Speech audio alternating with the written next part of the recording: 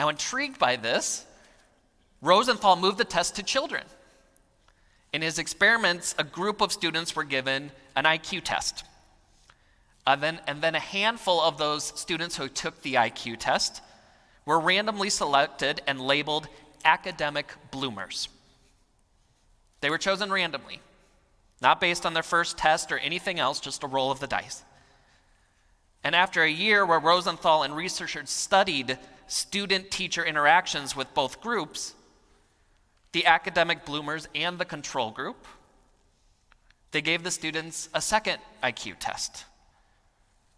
And lo and behold, the bloomers group performed significantly better than their first exam, while the control group showed no measurable shift. All because they were given one word of affirmation. All because that one positive word changed the way they were treated, changed the way they were seen, and most importantly, changed the way they saw themselves.